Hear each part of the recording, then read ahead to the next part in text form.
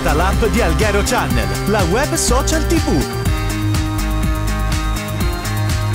Puoi vedere l'Alghero TG Express in diretta, gli approfondimenti e tutte le passate edizioni del TG. Accedi a tutte le puntate del fortunato format Audaci a cuore aperto. Un'applicazione interattiva che ti consente di inviare video, foto e messaggi, Scaricala da Google Play o accedi direttamente dal web www.appalgerochannel.it Alghero Channel, web social tv. Grazie, allora grazie di essere qua, grazie soprattutto appunto a Massimiliano che ha avuto questa idea, ma naturalmente a tutti gli altri che hanno sacrificato una serata con le famiglie o fare qualcosa di molto bello che avreste potuto fare per conto vostro per essere qua con noi. Per me naturalmente è un onore e soprattutto conoscere, incontrare persone nuove e sentire più, più che dire, perché in questa fase l'ascolto per noi è una cosa molto importante. E, tra l'altro anche questa è una novità. E, la nostra associazione, mi è stato chiesto prima in un'intervista, in un colloquio che abbiamo fatto con un collega giornalista, cosa vuol fare l'associazione Saldos. La prima e la più importante cosa che vuol fare è quella di far emergere dalla società sarda tutto quel che è rimasto nascosto negli ultimi 15, 20, 25 anni. C'è una rassegnazione latente, c'è una assenza di speranza, c'è soprattutto ormai la convinzione che tutto quello che succederà in Sardegna non dipenda dai cittadini, non dipenda dalle persone, perché la politica ormai è impermeabile a quelle che sono le richieste, a quelle che sono le grida di dolore, soprattutto di chi è rimasto indietro e di chi sta male. Ma ormai non è più neanche solo così, come mi capita di ascoltare, di sentire quando vado in giro, parlare con le persone, anche quelli che fino a 10-15 anni fa dicevano di non essere coinvolti dalla crisi o dalla mancanza di opportunità o dall'assenza di speranza, oggi si rendono conto che nessuno può dirsi escluso, nessuna categoria professionale, soprattutto gli autonomi, gli avvocati, i commercialisti, i progettisti, i collaudatori, tutti quelli che insomma avevano fino a 10-15 anni fa la certezza di poter comunque stare sul mercato, di, essendo imprenditori di se stessi, anche oggi invece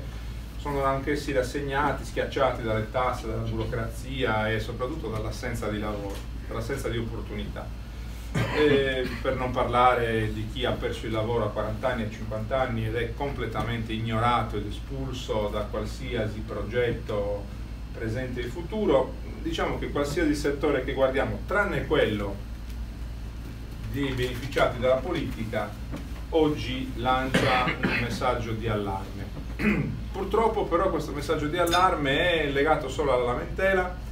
ed è legato solo alla rassegnazione. Allora noi abbiamo pensato di non rassegnarci, di provare a mettere a disposizione la nostra esperienza, a mettere a disposizione la nostra idea, eh, non solo mia ma anche degli altri che si sono impegnati fin qui in questa associazione, per invitare tanti altri a raccontare la loro idea, il loro impegno e a farli impegnare appunto nella cosa pubblica con un assunto. Cioè noi non siamo degli spettatori che decidono in base alle proposte che altri ci fanno e poi decidiamo in base alle proposte che ci fanno per votare per uno o per l'altro oppure non andare a votare. Fare gli spettatori non ci ha portato fin qui granché fortuna, fare gli spettatori ha lasciato campo libero a chi aveva altri interessi rispetto a quello dell'interesse pubblico, del bene pubblico. Perciò bisogna impegnarsi in prima persona, bisogna smettere di fare gli spettatori e prendere in mano la propria vita e aiutare la Sardegna, ognuno con quello che può dare. Può essere un'idea, può essere un impegno, può essere un sostegno, può essere una qualsiasi cosa che vada nella direzione del cambiamento. Noi siamo convinti che serva un cambiamento traumatico alla Sardegna di oggi. Serve cioè una profonda discontinuità con quello che conosciamo e forse la discontinuità non basterà, ma serve una rottura con un modello di sviluppo o di sottosviluppo che negli 20, gli ultimi 20-25 anni, ripeto, prendendo, eh, diciamo così, salendo sull'onda lunga del, di tanto di poco buono che era stato seminato anche nell'ultima parte della prima autonomia, eh, quel modello di sottosviluppo ormai sembra quasi irrimediabilmente compromesso. Dico irrimediabilmente compromesso non tanto solo per gli effetti che ha lasciato e che sono sotto gli occhi di tutti con i ritardi che noi accumuliamo in ogni indicatore, non solo economico ma anche sociale. Cioè noi abbiamo una popolazione, siamo gli unici praticamente parte, in questa parte del Mediterraneo è una, facendo le proporzioni con le altre isole del Mediterraneo, siamo l'unico luogo nel quale si perdono abitanti. Si perdono abitanti per il saldo naturale, cioè morti superano i nati, ma si perdono abitanti soprattutto perché i giovani scappano via e non tornano più qua. C'è una proiezione devastante che è stata fatta da un gruppo di demografi che ha studiato quelle che sono le proiezioni eventuali, se, se questo è il trend, se questo trend viene confermato. E questo sviluppo ci dice che noi entro 30-40 anni passeremo da 1.600.000 abitanti che abbiamo oggi a 1.100.000 abitanti. Già abbiamo una percentuale di abitanti per chilometro quadrato che è più bassa rispetto alle altre isole del Mediterraneo, pensate che questa cosa diventerà un deserto. Ci sarà davvero quel famoso effetto ciambella che porterà praticamente a desertificare 4 quinti della Sardegna, tutta quella dell'interno. Io non oso immaginare cosa potrà diventare un deserto come quello che si prefigura, spero, non voglio credere alle idee che si dicono insomma, che verrà utilizzato come dependance, come casa degli attrezzi o come casa eh, come autorimessa appunto per nascondere tutte le cose che non servono più all'Italia o alle altre potenze ricche della nostra area geopolitica, io non, non, credo che ci sia neanche questo disegno qua, credo che però ci sia una, che, una tendenza che non si riesce a invertire. E questo noi lo leghiamo al fatto che la classe politica sarda è a ruota, la classe dirigente in tutti i settori importanti della Sardegna, il settore della cultura, parlando dell'università e parlando della scuola, il settore dello sviluppo economico legato all'agroindustria, legato al mondo delle campagne, legato al mondo dei servizi, troppo, ancora troppo legato alle clientele politiche, troppo impegnato a compiacere il politico di turno, il politico di riferimento, che non a studiare quelli che sono uh, i problemi di quel settore e a studiare dunque possibili soluzioni o a um, ispirarsi a modelli che da altre parti funzionano dove c'erano problemi simili ai nostri sono stati affrontati e risolti. Cioè non c'è settore ormai della vita pubblica sarda che non sia pesantemente condizionato dalla politica sclerotizzata. Cioè sclerotizzata vuol dire che si è talmente ormai, eh, diciamo così, irrigidita e ha creato così tanta eh, scarsa fluidità di circolazione delle idee, di circolazione delle tensioni etiche e sociali da far diventare appunto sclerotizzata, eh, cioè quasi morente, la circolazione eh, di, non solo di idee ma anche di soluzioni e, come dicevo prima, di tensione etica. Perciò è difficilissimo, è un impegno da far tremare i polsi,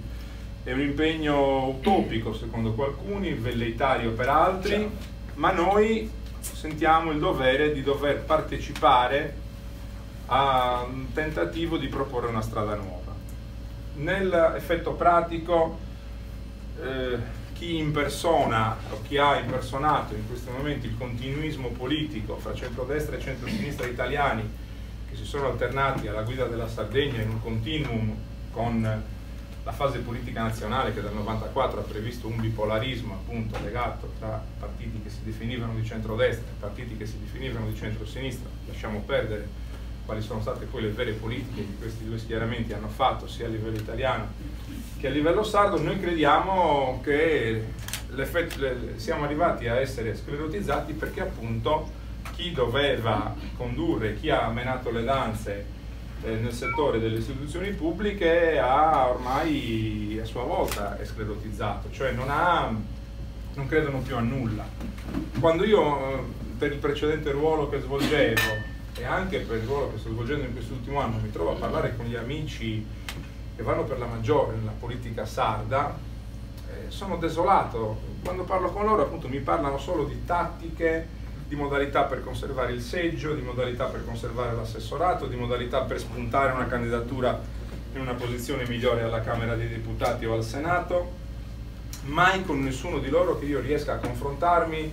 su un provvedimento che effettivamente sia improntato al bene dei cittadini, agli ultimi, a chi è rimasto indietro, a chi ha necessità di avere una speranza, a chi ha necessità di eh,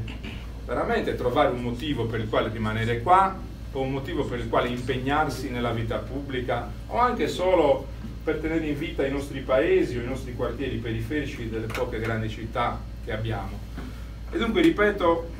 il nostro dovere in questo momento è cercare di far emergere forze nuove dalla società. Stiamo incontrando tanti professionisti, tanti piccoli imprenditori, tanti esponenti delle associazioni, tanti normali cittadini, tanti lavoratori, tanti esponenti anche dei sindacati, delusi da quelli che sono i comportamenti dei loro vertici, da sempre conniventi purtroppo con la politica. E a tutti loro stiamo chiedendo di darci un contributo di idee. Abbiamo aperto dei laboratori, in due mesi abbiamo raccolto oltre 650 adesioni di questi laboratori virtuali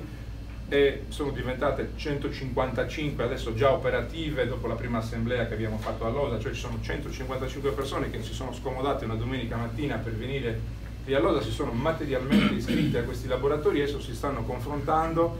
con grande entusiasmo tra loro per riuscire a confrontarsi e per, con l'intento di allargare questa cerchia di confronto a tanti altri sardi che, ripeto, non vogliono rassegnarsi. A cosa, che sviluppo avrà questa cosa? Non lo sappiamo. Io eh, dico, deludendo qualche volta i miei amici, che davvero non sono certo, non sono sicuro che Sardos eh, sarà un soggetto politico che si presenterà alle, alle prossime elezioni regionali, ma non lo dico solo per scaramanzia, lo dico perché davvero io credo che il momento elettorale rischi di corrompere a volte anche le migliori intenzioni. Se noi abbiamo detto che dobbiamo far emergere idee, forze, eh, dare speranza, eh, facciamo questo adesso. Poi se questo riusciamo a farlo, se questo si rafforza, se questo incontra eh, il favore della parte sana della società sarda va da sé che diventerà un qualcosa che trascinerà altri, che potrà fare da apripista, che aggregherà e, va da sé che le persone che non hanno le intenzioni che noi abbiamo si allontaneranno da sole. Io, tutti mi dicono, eh, ma stai attento perché se vedono che voi prendete forza ci saranno i riciclati che cercheranno, ma io purtroppo siccome uno non ce l'ha scritto in faccia, né che è riciclato né che è disonesto, noi possiamo solamente giudicare le persone dai loro comportamenti, ma soprattutto possiamo eventualmente coinvolgerle o allontanarle in base ai nostri comportamenti, cioè di chi guida in questa fase, in questa prima fase, questa, questa associazione ha un codice etico, ha un codice comportamentale, ha una prospettiva che è chiara e trasparente. Se noi riusciamo a tenere salda quella prospettiva chiara e trasparente, va da sé che chi ha altre intenzioni, chi pensa di perpetuare in questo campo quello che fanno gli altri, che hanno fatto gli altri nella scena politica, va da sé che si allontanerà. Dobbiamo avere la forza di continuare a fare questo, ma la forza di continuare a fare questo chi ce la può dare? Ce la possono dare solo altre forze sane che si mettono al nostro fianco, perché finché saremo più i sani, tra virgolette, che gli eventuali riciclati il, la barra rimarrà dritta e questa cosa non si rovinerà. Se invece, ripeto, già da oggi si comincia a pensare a elezioni, a cosa, alleanze, cosa mi conviene, cosa non mi conviene, mi alleo, non mi alleo, significa che non, che non siamo diversi dagli altri, significa che stiamo andando a fare l'ennesimo, cinquantesimo partito che poi si dice oggi di voler cambiare le cose come l'hanno detto tutti gli altri 49, ma non cambierà un bel nulla perché sta pensando solo a far sistemare qualche leader o qualche uomo forte che ha voti conquistati chissà come attraverso quale clientela, ma non avremo i risultati che ci aspettiamo. Perciò io penso che c'è un tempo per tutto, questo è il tempo di intensificare le iniziative, di intensificare i confronti, di intensificare, noi non ci stiamo risparmiando, io sono venuto qua da Cagliari, domani sarò a Oristano, eh, la settimana prossima ho altri due impegni fuori Cagliari, il 4 abbiamo una grossa assemblea a Cagliari, il 6 partecipo a un altro convegno a Cagliari, il 7 abbiamo una riunione a Baulato con gli altri partiti del mondo indipendentista, cioè voglio dire, nessuno di noi si sta risparmiando. E noi ci auguriamo che questo esempio possa essere seguito da tanti altri e tanti altri possano, vedendo il nostro entusiasmo, possano a loro volta trovare l'entusiasmo per portare il loro contributo e nessuno pensi, eh ma non sarà certo il mio contributo che farà migliorare le cose, non è così, perché a uno, a uno, a uno, a uno si fa la somma, è la somma che fa il totale, diceva un noto conto. E io credo che sia proprio così, che sia proprio vero così. D'altra parte non conosco altro modo democratico per provare a cambiare le cose. Perché l'altra alternativa è non fare niente e arrenderci e lasciare spazio ancora a chi invece non crede più a nulla e pensa che fare politica sia solo un modo per arricchirsi o per conservare posizioni di potere. Finché rimarrà un ultimo utopista o un ultimo velleitario, probabilmente così non sarà e ci sarà sempre chi proverà a cambiare le cose nella speranza, ripeto, di riuscire a creare entusiasmo e di riuscire a ingrossare le fila di questi eserciti. Buon appetito e grazie anche